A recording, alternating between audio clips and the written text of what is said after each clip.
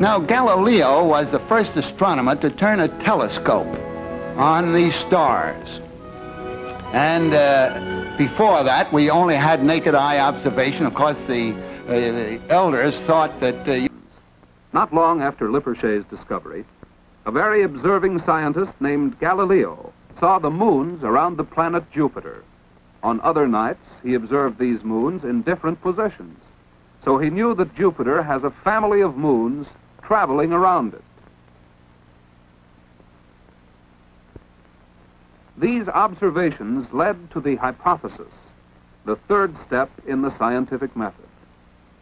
This means deciding what you think is the answer. Galileo decided that if Jupiter has a family of moons, the Earth might not be the center of the universe, as people in those days thought, but merely one of the planets, all of which travel around the sun. An earlier astronomer, Copernicus, had formed the same hypothesis, but Galileo's observations made it much more certain.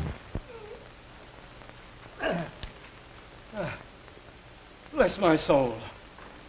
I don't see why I keep you around here.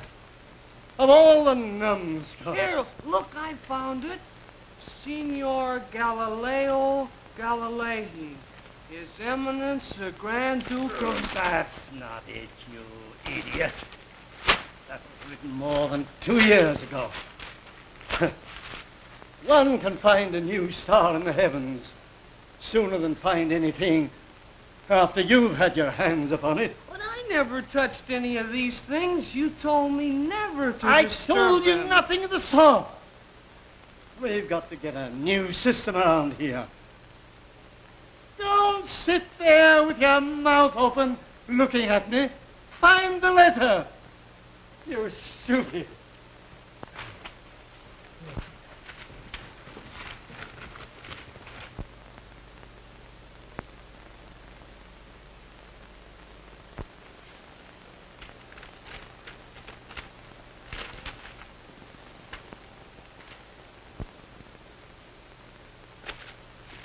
Mind what you're doing, you'll tear my gown.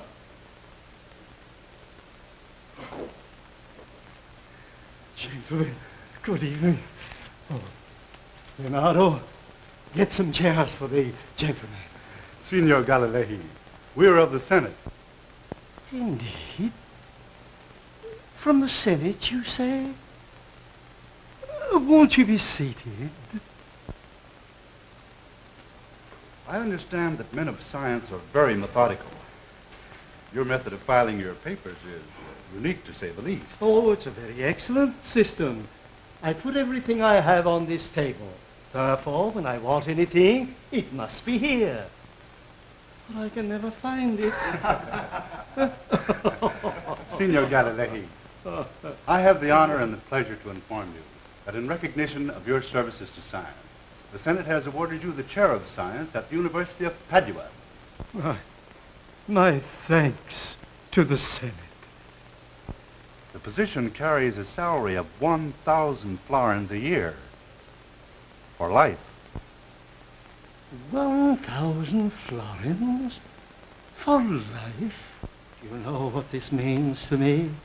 With that spyglass, I have mapped the heavens, charted the courses of the planets.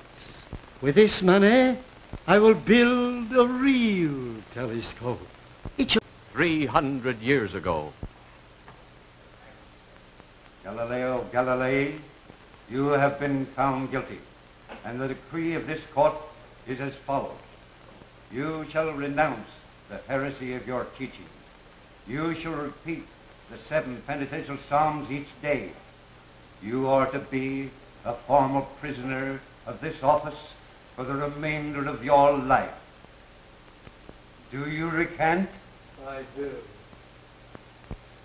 Do you curse and despise your crime in teaching that the earth moves and that the sun is the center of the universe?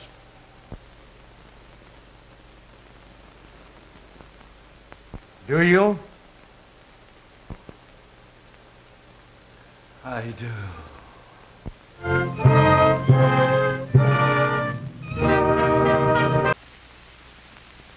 Many centuries later, however, An astronomer named Copernicus said that the sun only seems to set in front of different constellations.